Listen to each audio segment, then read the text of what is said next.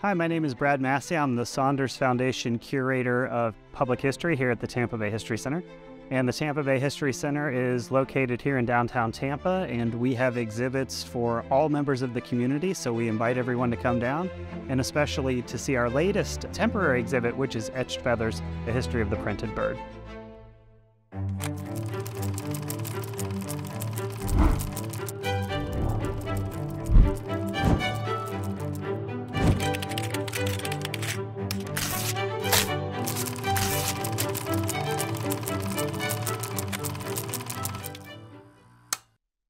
So, Etched Feathers, A History of the Printed Bird is a show that actually does a lot of different things. Number one, it features the work of local artist John Costin. And Costin's work is really interesting because it's based on this very elaborate etching process. But along with featuring John's work, what we also do, since we're a history museum, is we tell a history of printing processes. We tell the story about early woodcut prints, um, engravings, etchings, and then lithographs. And so our goal is not just to feature John's art, but also to teach our guest about how these printing methods have changed over time. And then lastly, what we do is we also give a natural history of these birds that John has painted and etched. Um, so you're going to learn about roadrunners, you're going to learn about sandhill cranes, you're going to learn about all these different birds, almost all of them birds that you can find out in the wild here in Florida. So the exhibit does a lot of different things. We had worked with John a little bit before on certain exhibits we did, like an Audubon exhibit.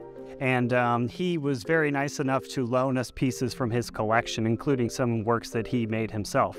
And so we thought, well, maybe it's time for us to actually feature John's work and also feature works from his collection, which stretch back several centuries.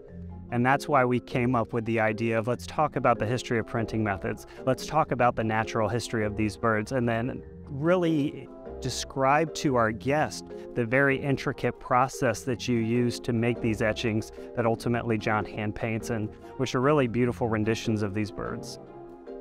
One thing that we like to do when we curate exhibits here at the Tampa Bay History Center is we like to have different components, right? Or as one of my colleagues said, different textures. And so John's elaborate etchings are really interesting. And so I thought, well, maybe one way to make them come alive is if we have footage of birds in the wild that our guests can actually see. So they'll see John's sandhill crane and they'll see a sandhill crane on a video. So I reached out to a local firm and I said, what's a fun way for us to engage our visitors so they can see these birds out in the wild?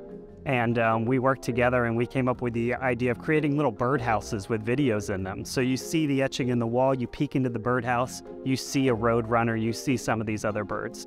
So it's another way for us to engage our viewers that, you know, might be interested in John's work, but they might also be interested in seeing these birds in the wild. So as a curatorial team, we thought it was an element that really kind of brought a fun component to the show, but also reached out and told our visitors a different message about these birds and they could interact with these birds in a different way.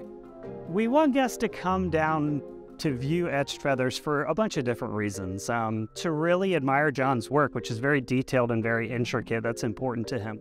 But to also learn about how John's work fits into this broader historical um, process of making bird prints, whether it be woodcuts, whether it be engravings, whether it be lithographs.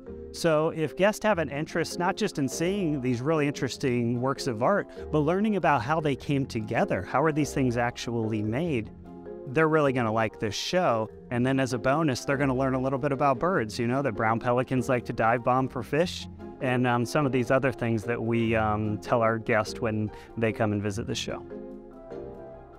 I think it's really important for our residents and institutions like the Tampa Bay History to support local artists because what they do is they make our culture and they make our landscape more robust. I mean, there's no doubt about it. John's work both tells us a lot about Florida, it tells us a lot about birds that inhabit Florida, and frankly, it makes our gallery space and our community a more beautiful place when you have thoughtful artists that are creating these things that speak to the natural environment in Florida when it comes to John's shows but also other topics that are important to Floridians, whether it be about the migration of Cuban people, whether it be about the history of brewing in Tampa. You know, all of these things are really important and they help to really enrich our community.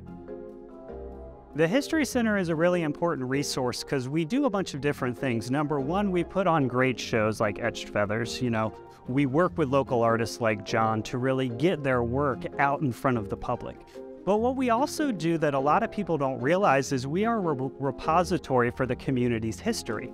Sure, you see a lot of things on display, but 90% of the things in our collection aren't on display. What we do is we preserve them, we collect them for posterity. And this is really important because these are items that tell the story of our community. You know, they tell the story of its evolution, the story of its struggles. And so we're not just a place that puts on exhibits, we're a place that collects things so future generations can look at them and think about our area's past and have a better understanding of who we are. I think there's really something important that happens between a guest and an object when they encounter it face to face that can't be replicated online. You see John's work from different angles. You get close to it, you back away from it, and then you see how it relates to the space and the other stories that we're telling here in the gallery. And then also, we have some really cool interactives in this exhibit. You know, we have handles that we want you to open so you can learn about birds, you can learn about pieces from John's collection, and you simply can't do that online. So Etched Feathers debuted on March 4th, and it's going to run until October 15th. So there's still time to come on down, but don't wait till the last minute. Um, the History Center is open seven days a week from 10 to 5, and so we're available to the community. We're welcoming to the community, and we want you to all come down and see the show and see John's great work.